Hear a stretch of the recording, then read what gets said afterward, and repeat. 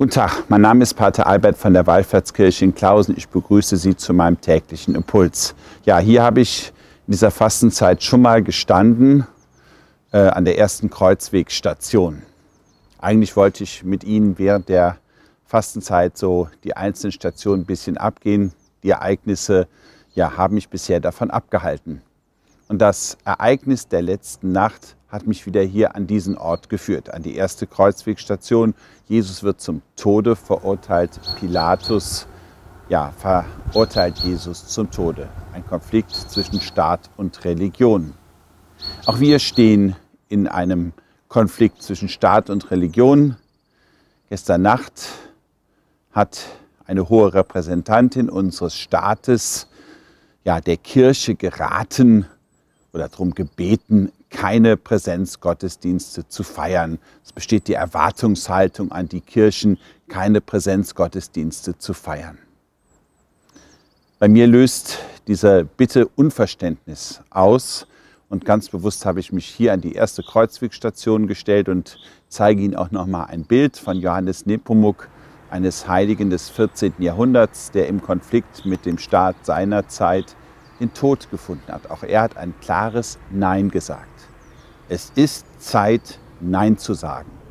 Denn als Religionsgemeinschaft haben wir das Grundrecht, unsere Religion auszuüben.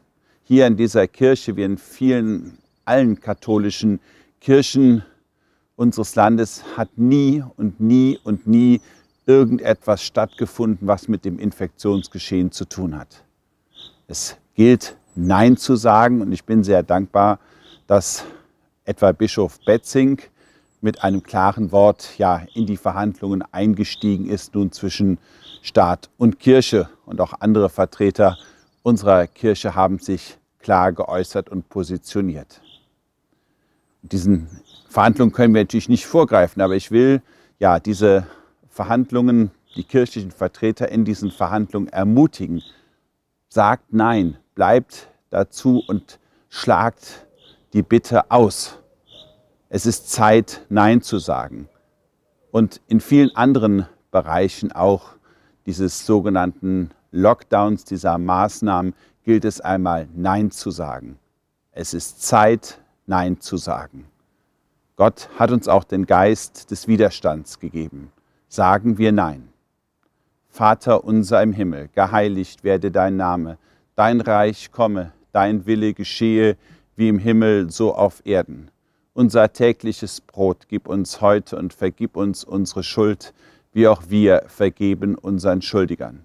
Und führe uns nicht in Versuchung, sondern erlöse uns von dem Bösen.